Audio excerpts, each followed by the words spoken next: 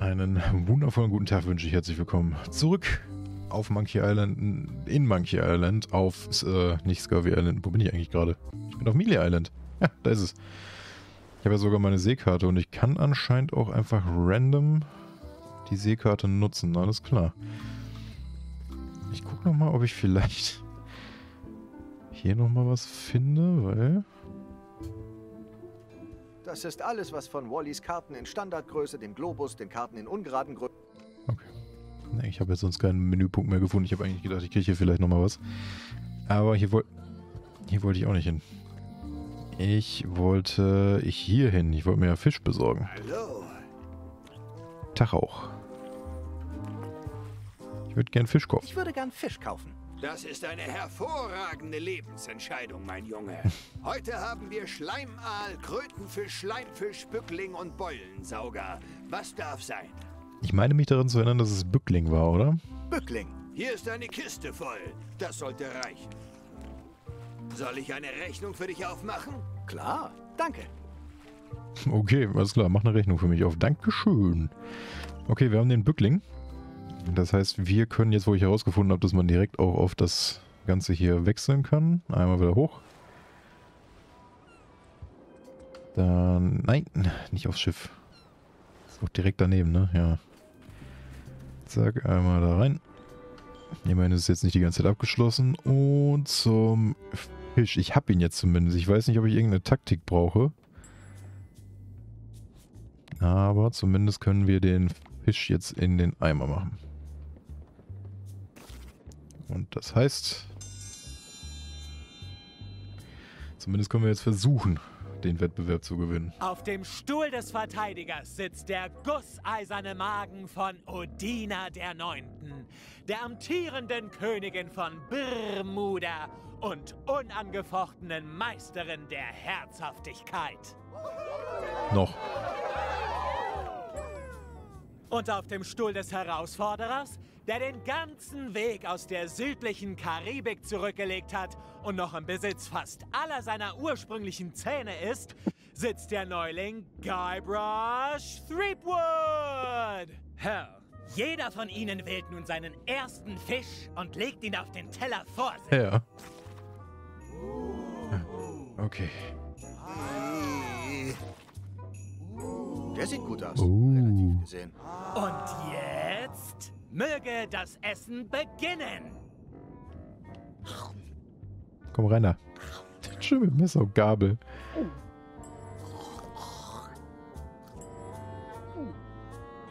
Es fühlt sich an, als würde er in meiner Kehle zappeln. Meine Damen und Herren, die Gewinnerin und amtierende Champion, Königin Odina.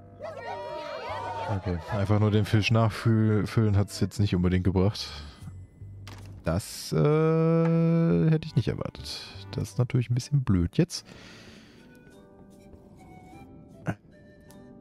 Warte mal, kann ich in dem Raum irgendwie was präparieren? Habe ich vielleicht irgendwas? Bücklinge Sie inspizieren. sind halb gebückt. Ja, okay.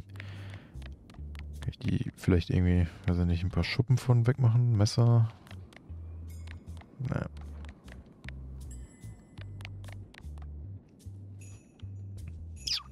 Okay, ich habe auf jeden Fall den Fisch. Ist jetzt nur die Sache, wie ich ihn runterbekomme, einfacher. Oder kann ich mir irgendwie mit Wachs meinen Speise, meine Speiseröhre auskleiden, so wie Homer? Das wäre auf jeden Fall auch nochmal was Einfaches, oder? Warte mal. Ja, okay, ich kann die nur inspizieren. Ich kann sie jetzt nicht die ganze Zeit Probe essen. Es Zutaten. ist ein Kochbuch. Es hat vier Sterne, aber es sieht so aus, als ob sie für die Schwierigkeit stehen. Was haben wir hier? Ein Eimer, der bis zum Rand mit verrotteten Fischgräten gefüllt ist. Theoretisch könnte ich einfach sagen, ich habe den irgendwann mal aus oder ich tausche den irgendwann mal aus, aber ich glaube nicht, dass das Ziel, dass das das Ziel des Ganzen ist. Ich frage am besten einfach nochmal die Profis. Ich gehe auch immer wieder falsch. So, hier. Nein, nicht, nicht, nicht, nicht, nicht. Hallo. Fragen wir doch am besten nochmal nach. Äh, gegen einen anderen eintauschen. Angelplatz, in dem ich mich finden soll. Ähm. Ne. Ich denke, ich werde mir den heutigen Fang ansehen. Du wirst keinen besseren finden. Heutigen Sonderangebote, Fisch bestellen. Kann ich den Fisch gegen einen anderen eintauschen? Ja, okay, der macht das selber. Ich werde mir den heutigen Fang ansehen. Du wirst keinen besseren finden. Ja, okay, und das ist einfach eine Person, okay. Interesse an Sushi zeigen. Womit füttert ihr sie? Sie füttern? Weil sie hat ja auch irgendwas von Sushi geredet, aber da meint sie halt einfach rohen Fisch. Also nicht, dass ich den kleinen Fisch jetzt essen soll und dann so, haha, ich hab, das würde glaube ich sogar auffallen.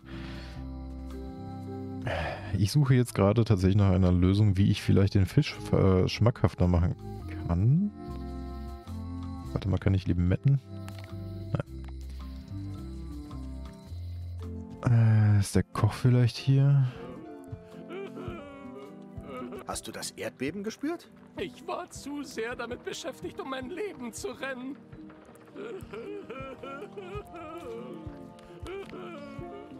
Hm, Nein, kann ich nicht.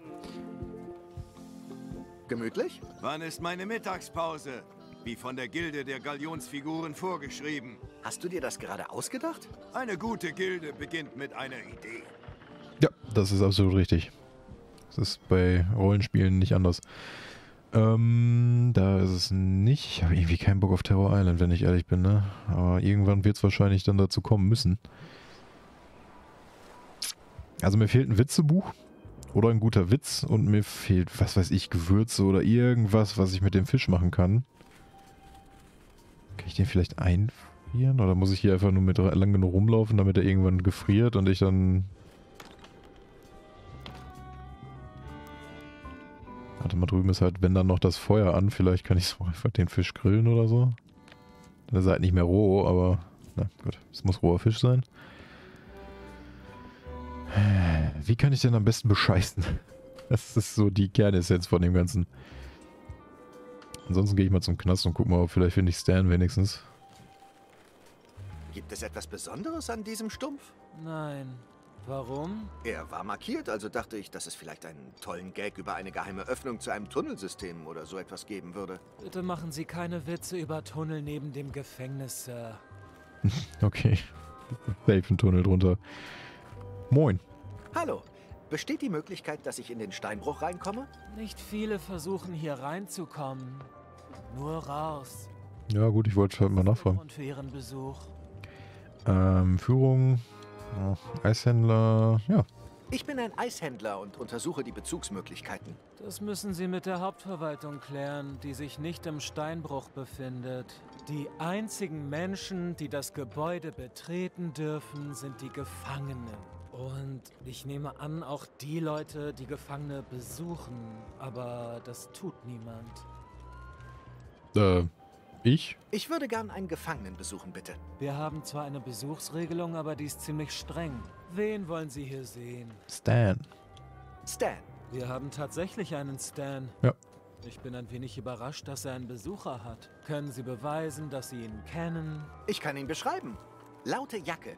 Hört nie auf, seine Arme zu bewegen. Oder seine Lippen. Das klingt zwar nach ihm, aber ich muss erst einmal konkrete Beweise sehen. Ja, Bringen Sie mir einfach etwas, das zeigt, dass Sie beide jemals zusammen in einem Raum waren. Okay. Auf diese Weise kann ich meinem Fa äh, meinem Chef sagen, dass ich meine Arbeit getan habe. Mhm, meinem Fahr. Mhm, mhm, mhm. Gut, dann, äh, mir gefällt zwar nicht, was jetzt... ich würde das zwar lieber mit Elaine dann kombinieren, aber so ist doch auch völlig in Ordnung. Nehmen wir dieses. Was halten Sie von diesem Bild, das mich und meinen sehr lieben Freund Stan zusammen zeigt? Wir haben es bei einem Treffen unseres örtlichen Bisamrattenclubs malen lassen. Sie sehen aus, als stünden Sie sich sehr nahe. In Ordnung. Sie können reingehen und ihn sehen, aber keine Fluchtversuche. Daran würde ich nicht einmal im Traum denken. Sie wollen nicht direkt dort stehen, wenn ich das Tor öffne. Stellen Sie sich neben einen Stumpf. Willst du uns erschlagen, oder was? Okay, das ist ein... Okay. Alles Ich wollte gerade sagen, sehr langsames Tor, aber danach dann nicht mehr. Okay, wir dürfen rein. Nachdem wir das Foto gesehen haben. Okay, hier ist einiges los. Hallo, Weißt du, wo Stan ist? Ganz hinten. natürlich. Redet ihr... Weißt du, wo Stan ist? ganz hinten. Nee, ganz hinten. Kennst du Stan? Er ist in der hinteren Ecke. Okay, dann gehe ich mal in die hintere Ecke. Hast du Stan gesehen? Ganz hinten. Na komm, dich dann auch noch. Weißt du, wo Stan ist? Geh weiter, du wirst ihn finden. Ganz hinten. Nehme ich an. Lauter Typ, großer Hut. Ganz hinten. Lauter Typ, großer Hut. Geh weiter, du wirst ihn finden. Lauter Typ, großer Hut. Geh weiter. Du wirst ihn finden. Geh weiter, ganz hinten. Ich spreche jetzt jeden an, selbst wenn ich Stan sehe. Hast du Stan gesehen? Er ist in der hinteren Ecken. In den hinteren Ecken. Kennst du Stan? Er ist in der hinteren Ecke. Das ist doch Synchronstimmenverwertung, oder nicht? Äh, Ganz hinten. Lauter Typ, großer Hut. Ganz hinten. Lauter Typ, großer Hut. Ganz hinten. Lauter Typ, großer Hut. Gleich hinter dem Tunnel. Weißt du, wo Stan ist? Gleich hinter dem Tunnel. Jeden einzelnen. Lauter Typ, großer Hut.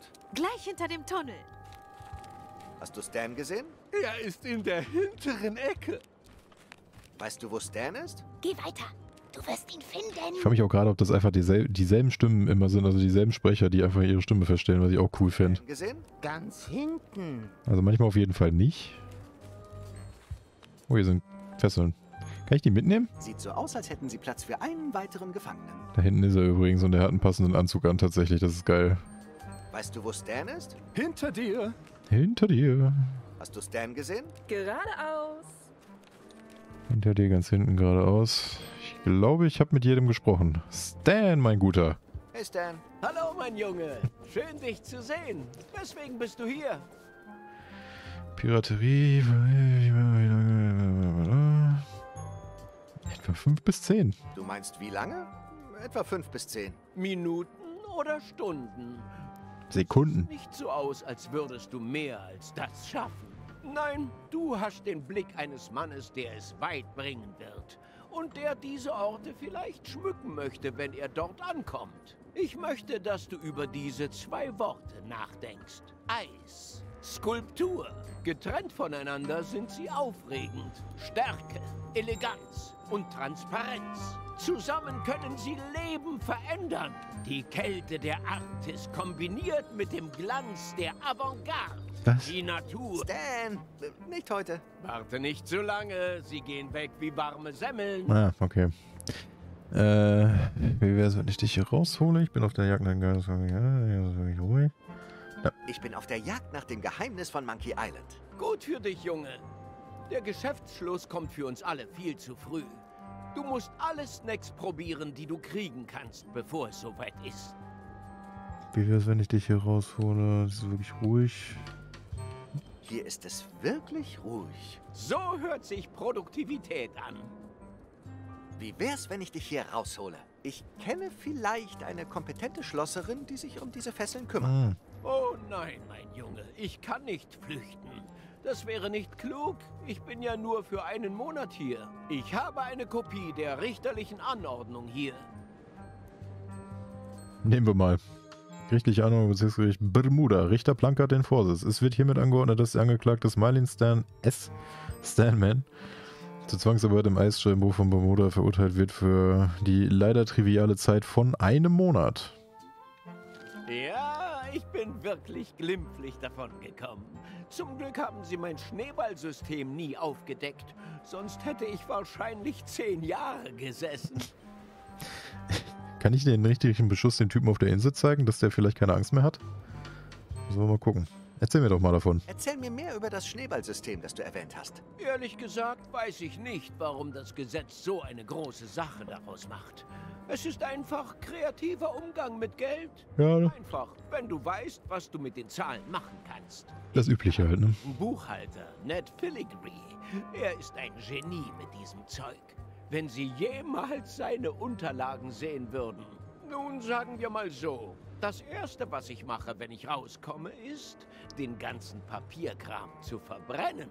Ah, okay. Er will den Papier haben. Okay, okay, okay. Bist du sicher, dass du nicht willst, dass ich dich befreie? Bist du sicher, dass du nicht willst, dass ich dich befreie? Wie ich schon sagte, bin ich in einem Monat sowieso raus. Bis dahin komme ich mit den Fesseln klar. Na dann. Ich glaube, ich schaue mich ein bisschen um. Amüsier dich gut, mein Junge. Warte mal, habe ich nicht... Es ist eine alte Holzzahnbürste mit stark ausgefransten Borsten, die ich in Stans Werft gefunden habe. Ich kann sagen, habe ich die nicht von ihm? Vielleicht will er die haben. Für- Ich meine, kann... Ah, guck mal, kann im Knast auf jeden Fall hilfreich werden. Stan, ich glaube, das ist deine Zahnbürste. Süßer Lebkuchenkuchen. Das ist die alte Bessie, ganz recht. Die alte Bessie. Ihr sehr dankbar. Kein Thema. Gut, dann würde ich sagen... Okay, dafür hat es sich alleine schon gelohnt. Hat zwar sonst nichts gebracht, aber ein Erfolg hat es freigeschaltet. Ähm, ich Ich glaube, ich schaue mich ein bisschen um. werde nochmal zu dem Buchhalter fahren, glaube ich. Heißt hier einmal raus, weil ich darf ja ein- und ausgehen. Ich bin ja nur zu Besuch. Und einmal auf die Insel. Halt! Bist du sicher, dass du nicht verfolgt wurdest? Wir Ja. sind sicher. Niemand ist jemals hundertprozentig sicher. Hier, guck mal. Oh je. Dieser Gerichtsbeschluss im Verfahren gegen Stan S. Stanman könnte dich interessieren. Oh, was ist das? Nur ein Monat? Oh nein! Okay, er ist jetzt eigentlich beschäftigt. Komm, nimm, nimm dir das Diese Unterlagen! Bild. Sie zum Gericht auf Bermuda. Sie werden wissen, was Sie mit ihnen machen sollen. Das ist eine sehr schädliche Sache. Stan wird mindestens zehn Jahre bekommen. Ich würde mich ja selbst darum kümmern, aber ich muss fürs Zeugenschutzprogramm packen. Oh Gott!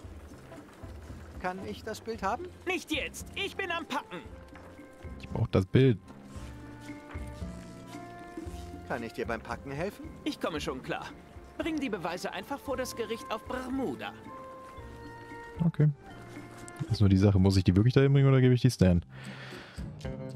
Äh, Königin, Königin, Königin, Elaine helfen. Oh Gott, das ist alles viel zu kompliziert geworden hier.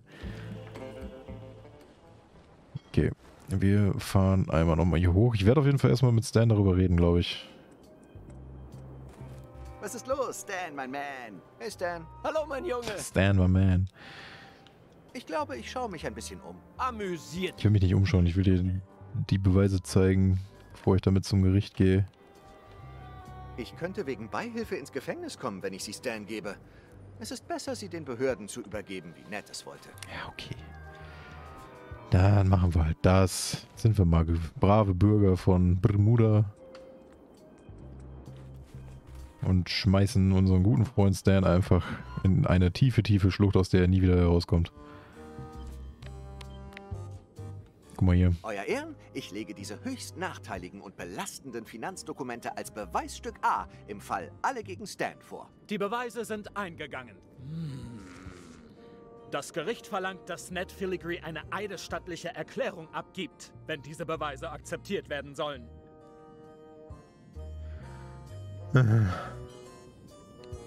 Ned Filigree.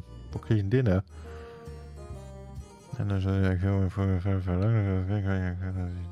Für das Gericht kann ich erklären, dass ich Ned Filigree bin. Dieses Gericht kann anhand von Zolldokumenten feststellen, dass Ihr Name tatsächlich Herr Guybrush Threepwood ist. Ach scheiße, ich hätte einfach Ned Filigree, aber konnte ich ja nicht.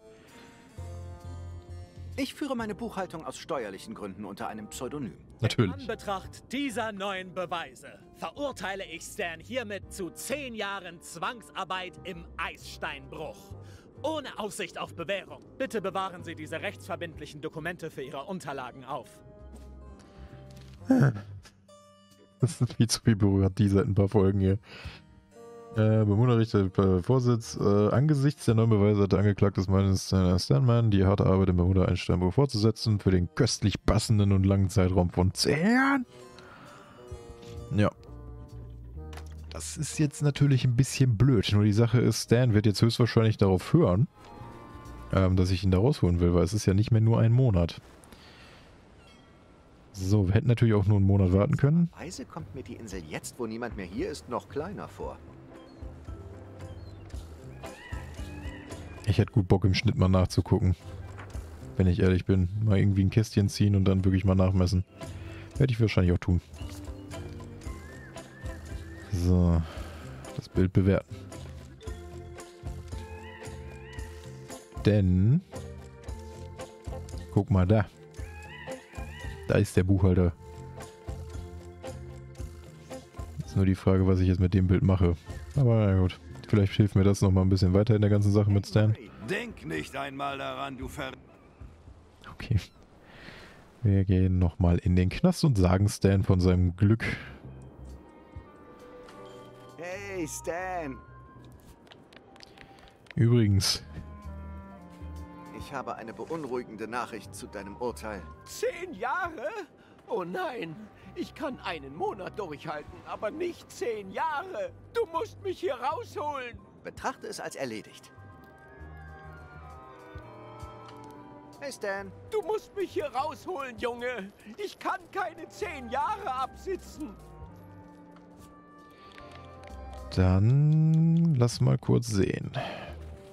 Ich kann die Seriennummer lesen. Ich werde sie aufschreiben. Gut, Seriennummer ist aufgeschrieben. Ich bin gleich zurück, Stan. Bleib, wo du bist. Ist immer wieder schön, jemandem zu sagen, der im Knast ist. So, ich sehe gerade auf die Zeit, aber das machen wir jetzt hier noch schnell. Schwuppdiwupp. Schlüssel anfertigen lassen. Komm zurück. Hallo. Müsste der hier sein? Können Sie mir einen Schlüssel mit dieser Seriennummer erstellen? Sicher. Ein Fesselschlüssel, was? Spezielle, extrem kalt gehärtete Version. Diese Fesseln werden gar nicht mehr hergestellt. Ich nehme an, Sie haben sie schon eine Weile? Oh ja, Sie sind schon seit Generationen in meiner Familie. Hätte die jetzt einen Beweis gewollt, hätte ich zumindest auch mitbekommen, wo ich den herkriege, weil da liegen ja noch Fesseln auf dem Boden. Na gut, wenn die so selten sind, kann ich die ja auch mal versuchen zu verkaufen, ne? Müsste ich eigentlich mal mitnehmen. So, rein da. Stanyline. Und die Befreiung machen wir natürlich erst beim nächsten Mal. Das ist der Schlüssel, den ich für Stans Fesseln gemacht habe. Jetzt gucke ich nur mal ganz kurz. Aus, als hätten Sie Platz für einen weiteren Gefangenen. Ah. Wo, nee. Ja, vielleicht doch. Ich liebe dieses eingefrorene Feuer da links auf jeden Fall. Aber das sind auf jeden Fall ganz schöne Eisskulpturen, die die hier machen. Aber gut. Ich werde hier in den Tunnel wahrscheinlich mit Stan gehen. Es sieht aus wie ein geheimer Fluchttunnel. Aber natürlich, wie gesagt, erst beim nächsten Mal. Denn wir sind am Ende angelangt. Vielen lieben Dank fürs Zusehen. Wenn es euch gefallen hat, gerne das übliche Zeug da lassen. Und wir sehen uns das nächste Mal bei Monkey Island oder einem anderen Projekt von uns. Und ansonsten nochmal einen schönen Abend. Haut rein. Bis zum nächsten Mal und tschüssi.